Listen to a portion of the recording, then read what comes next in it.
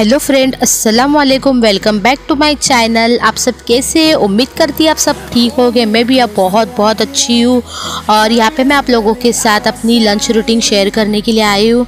ये लंच का टाइम है ये और अभी मैं यहाँ पे बनाने जा रही हूँ मेथी की सब्ज़ी। आप लोग देखते जाना मैं किस तरीके से मेथी की सब्ज़ी बना रही हूँ और अभी सीज़न चल रहा है तो मेथी की सब्ज़ी हर एक किसी को अच्छी लगती है, चाहे बड़े हो, छोटे हो तो अच्छी लगती है। और यहाँ पे मैंने मेथी को अच्छे से वॉश करके रखी हूँ और यहाँ पे मैंने कुछ सेंगदाना पीनट्स को मैंने अच्छे से रोस्ट करके रख दी। और ज़्यादा कुछ नहीं है, बस इस कढ़ाई में मैं एक दो मीडियम साइज़ के प्याज ऐड करूँगी। प्याज जितना हो सके उतना अच्छा लगता है बट अभी थोड़ा सा प्याज महँगा है तो थोड़ा कम ही ऐड कर दी मैंने। और हरी मिर्ची, और थोड़ा सा सूखी लाल मिर्च मैं ऐड करूँगी यहाँ पर और वहाँ पे वो येलो कलर की मूंग की दाल है। बिना छिलके वाली मूंग की दाल होती है ना, वो मूंग की दाल है वो। वो मैं उसमें ऐड करती हूँ। ये मेरे मम्मी के स्टाइल की सब्ज़ी है और अक्सर हम लोग के घर पे यही पसंद करते हैं सब्ज़ी खाना। इसके अंदर पीनट्स भी मतलब सिंगदाना भी मैं डालती हूँ। और जैसे ही तेल और प्याज और फ्राई होने पे मिर्ची, मैं उसके अंदर ये सब्ज़ी को मैंने ऐड कर दी।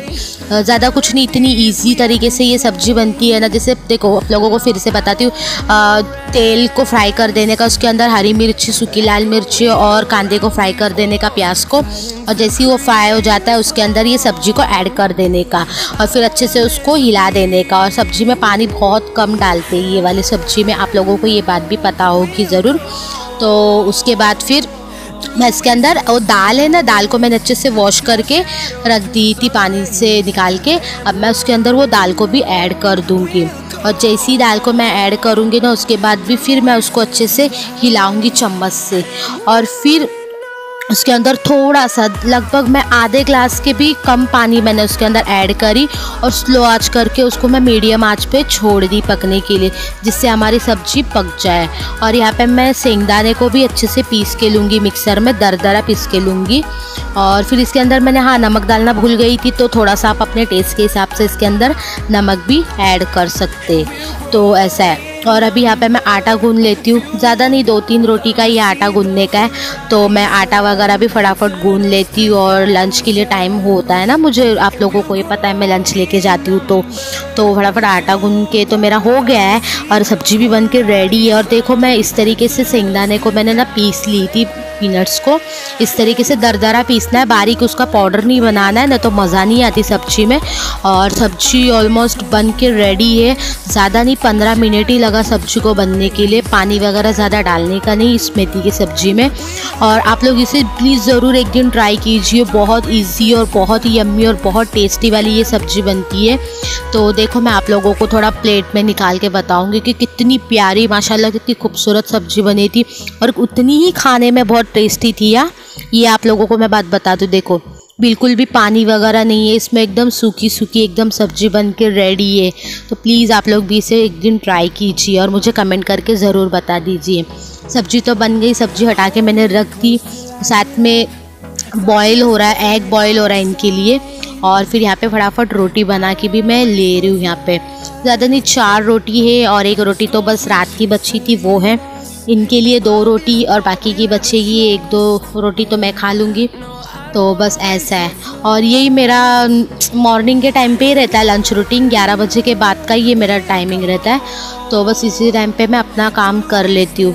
फिर तो इसके बाद मैं आप लोगों को डायरेक्ट तो बता रही हूँ, मैं डायरेक्ट आप लोगों को ना रात में ही पार्क में मिलूँगी, शाम के टाइम पर सात बजे के बाद ही मैं आप लोगों को डायरेक्ट पार्क में मिलूँगी। तो रोटी वगैरह भी हो गई बन के, और अब मैं इनके लिए फ्रूट काट रही हूँ। जैसे कुछ भी फ्रूट रहता है ना तो मैं इनके लिए फ्रूट वगैरह काट लेती हूँ। और फिर अभी तो मेरी जाने की तैयारी है, घाई वगैरह है, मुझे अभी शॉवर भी लेना है तो ऐसा है। और अभी फिर इनका भी टिफ़िन देखो भर के हो चुका है। फिर अभी मैं शॉवर वगैरह लूँगी, और फिर चली जाऊँगी इनके पास फिर टिफ़िन लेके।